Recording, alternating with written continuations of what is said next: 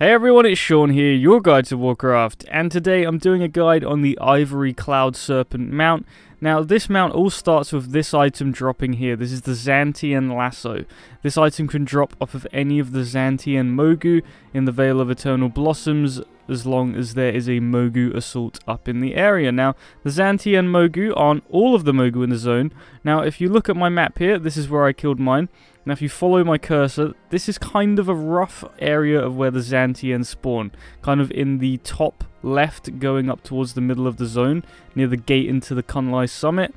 Now, once you have looted your Zan-Tien lasso after farming some Mogu, you want to head to these coordinates in the Vale because this is where the actual Ivory Cloud Serpent NPC spawn. Now, this is where you need to be ready with a target macro because this thing will either dart away or someone else will lasso it and it will despawn very quickly. So use a target macro and a use lasso macro.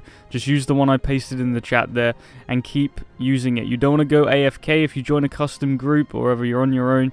You want to be up in the air, and eventually, after, well, for me it was about a couple of hours, this mob will be targetable. And like I said, if no one lassos it, it will dart away, and you will have to chase after it before it despawns.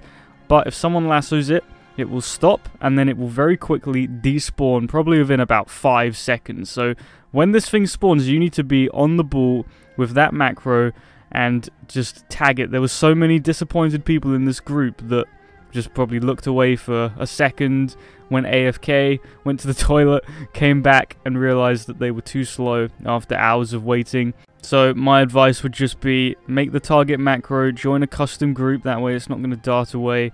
And like I said, just be on the ball, don't let your attention slip. If you're going to camp this out, be spamming that macro constantly, make sure you don't miss the target and keep going with it that's all for this video, so thank you very much for watching. All my links are in the description box down below. Be sure to subscribe for more guides and videos, and hopefully I will see you in the next one.